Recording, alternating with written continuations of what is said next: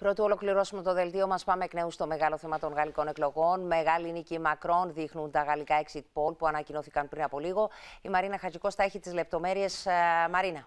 65% υπέρ του Εμμανουέλ Μακρόν και 35% υπέρ της Μαρίν Λεπέν έδωσε η μεγάλη δημοσκόπηση της ύψος στη Γαλλία. Χιλιάδες Γάλλοι πολίτες σειραίουν ήδη στο Λούβρο προκειμένου να γιορτάσουν την νίκη Μακρόν. Η Μαρίν Λεπέν έφτασε στο εστιατόριο του δάσου τη Βανσέν. Ανακοίνωσε ότι θα απευθυνθεί στους ψηφοφόρους της σε λιγάκι, από λεπτό σε λεπτό. Ακολούθως στο γαλλικό λαό θα απευθυνθεί και ο Μακρόν. Οι δύο είχαν μια τηλεφωνική σύντομη ε, συνομιλία. Ευχαριστούμε, Μαρίνα.